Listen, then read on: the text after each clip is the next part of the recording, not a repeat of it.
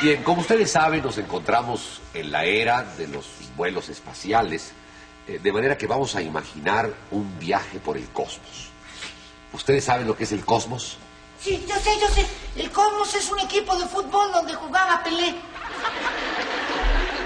Godínez, yo me refiero al universo. Bien, e- en este viaje imaginario por el universo, vamos a suponer que el salón de clases es la nave espacial y que todos nosotros somos los cosmonautas. Sí, eso está bien buenísimo. Como en una película que vi. Orden. Orden, orden. Yo voy a ser el comandante de la nave. Sí, claro, los adultos siempre agarran lo mejor. Oye, no, si no te gusta, Chilindrina, puedes salirte. En pleno vuelo me mato. Bien, ya. Primeramente vayamos al punto más cercano. Vamos a la luna. Ay, no, a la luna ya fueron otros. Mejor vamos al sol, ¿sabes? No seas tonta, Popis. Ningún hombre humano puede soportar el calor del sol. ¿Y si voy de noche qué? Tampoco. El sol no se apaga de noche. Lo que pasa es que queda detrás de la Tierra. Entonces no podemos ir al sol. No, moriríamos abrazados. ¿Abrazados? Sí. Chavo, ¿vamos juntos? ¿Yo por qué? Ay, chavo, te estoy... Ya, ya, ya, ya, ya. ya. Si no quieren ir a la luna, vamos a otro planeta. Así, vamos a Acapulco. Acapulco no es un planeta. Yo estoy hablando de, de- de- de los nueve planetas del sistema solar. Chavo, ¿quieres ir al baño? No, Bueno. Entonces, este, decía que los planetas del sistema solar son Mercurio, Venus, la Tierra. ¿Qué sigue después de la Tierra? el mar. Y ahí es donde está Acapulco. Estamos hablando de planetas. Después de la Tierra sigue Marte. ¿Qué sigue después de Marte? Miércoles. Sigue Júpiter, Saturno, Urano, Fulano, Mengano y Sutano. Neptuno y Plutón. Ah, y luego esos dos. Bien, vamos a ver, chavo. Espérenme, espérenme tantito. ¿Qué, qué pasa? Es que vamos a chocar con la nave de los malos. Mm. Ya. ¿Qué decía? Mira, olvídalo. Chilindrina, supongamos que yo quiera llegar a Marte. Ay, no, gracias. Prefiero el chavo. Perdóneme, usted no es mi tipo. Les voy a explicar gráficamente.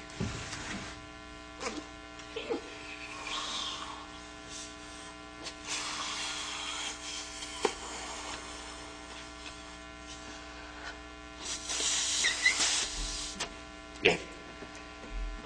Esta es la nave espacial. Se parece a ñoño. ¡Mira él, mira él, mira él! ¡Orden! ¡Orden!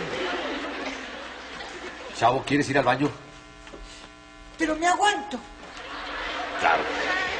Cuando la explicación de una clase es interesante. Bien. Eh, les iba yo a decir, observen lo que pasa cuando yo suelto el globo. ¿Vieron cómo se movió el globo? Sí, hizo así. Pues la nave espacial es exa- hace exactamente lo mismo. ¿Y no se marean los astronautas? Bueno, hace exactamente lo mismo, pero en línea recta. Popis. Profesor, hay una cosa que me sorprende. ¿Qué cosa, ñoño? Los pulmonzotes que ha de tener el que infla la nave. La nave no la infla nadie, ñoño, nadie. A la nave le ponen combustible. ¿No sabe lo que es el combustible? Fíjese que no. No sabe lo que es el combustible. ¿Qué es lo que... ¿Por qué caminan los coches? Por la calle. Sí, por la calle. Pero, ¿qué necesitan para poder transitar por la calle? Esquivar los baches. Voy a poner más fácil. ¿Por qué le ponen gasolina a los coches? Por un agujerito, ¿Con qué objeto? con una manguerita. Quédate ahí. ¿eh? Que haya visto. ¿Alguien sabe por qué caminan los coches? Porque no encuentran dónde estacionarse. ¿Pero por qué causa, motivo, razón o circunstancia caminan los coches? Yo le digo, profesor Girapales, A ver, Pop. los coches caminan porque sí.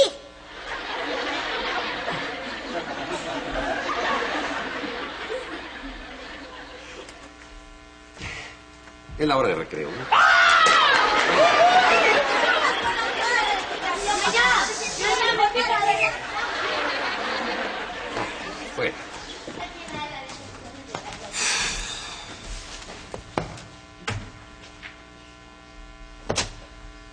Chavo, sé que estabas muy interesado en la clase, pero esta ya terminó.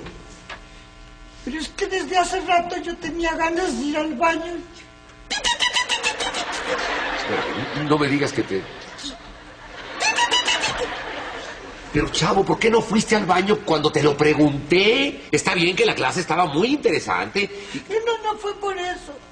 ¿Y entonces por qué no fuiste? Que la chilindrina dijo que si salíamos en pleno vuelo nos matábamos.